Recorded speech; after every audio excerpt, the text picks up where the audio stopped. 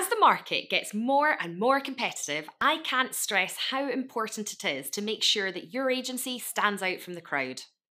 But, folks, I have just had another year of judging hundreds of websites for the NORAs. That's the National Online Recruitment Awards. And you still look all the same. So, let's look at how you can start the process of establishing your unique positioning in the marketplace. Get out your notepad and answer these three questions. Why does your business exist? Why do you offer the services you offer?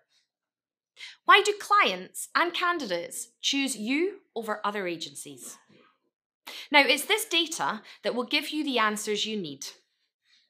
Your website is your shop front, so it needs to reflect the answers you've just written down. So, next step, let's go and look at your website with a pair of fresh eyes. Does it scream out that you understand your target audience? Does it reconfirm your audience to your audience why your customers choose you as their recruitment partner? And more importantly, does it give a new prospect an easy way to see what is great about working with you? If not, you need to get repositioning to stay competitive. Now, next year, I predict that your brand and positioning in the marketplace is going to become your biggest asset.